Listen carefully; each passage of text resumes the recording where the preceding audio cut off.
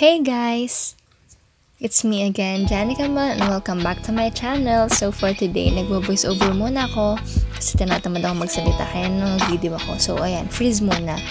So this challenge is from Yes Style, the Style Swap Challenge. So kung makikita nyo naman ako on normal days, ako yung type ng girl na t-shirt lang, na parang hindi ako masyado nagsistyle kasi minsan nagmamadali, ganun. But this time, I will be doing this and you can use my code Janica12 in Yes Style.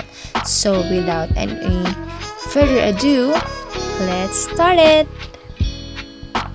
So, ang first item natin ay isang scrunchie. Ayan, very very cute na scrunchie. And it is a Daisy print scrunchie. And then, ilalagay ko na lang sa baba kung ano yung mga links. And yes, it is very cutie patuti dahil ang cute ng print niya na flower.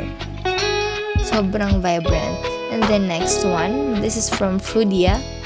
Ito, super bango nito as in. There's the coconut honey salve lip cream. So, moisturize na yung lips natin. And it really smells like coconut.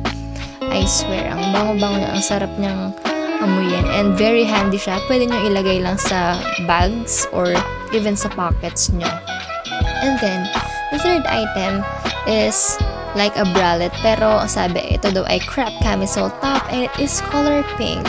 So, may ibang kulay nito, pero pink kinuha ko. And it has pads on it. So, ang labas niya, para siyang nagiging bralette. So, pwede mo siyang ipandoble siguro if you have cardigan or sa jacket, ganon. It is very comfy to wear. And it has a strap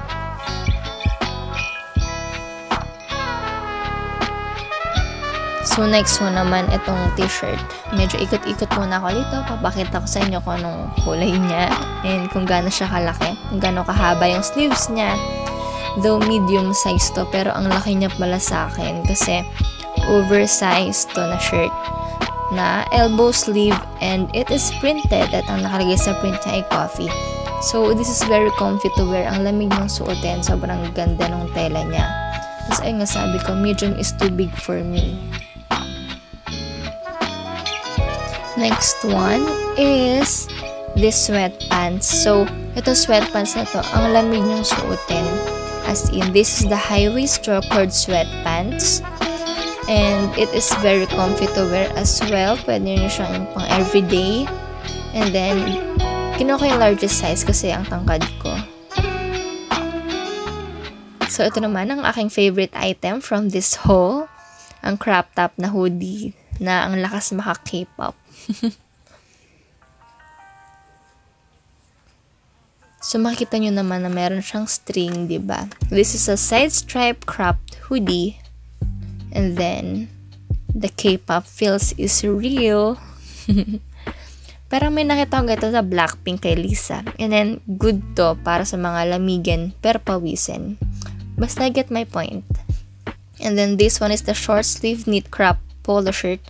Ito, ang lambot nito. Ang sarap niyang suotin. As in, tas hindi siya mainit. Yung tela niya, hindi mainit.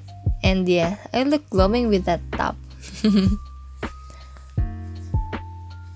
Ikot-ikot muna. Makita natin kung gaano kaikli. Kasi crop top nga.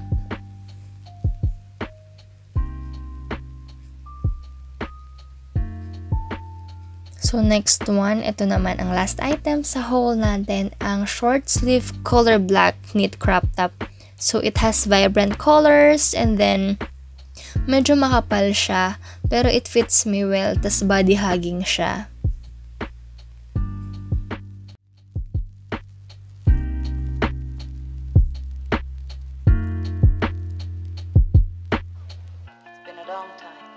Yes, ma'am. A lot of water under the bridge. Some of the old. Yes, ma'am.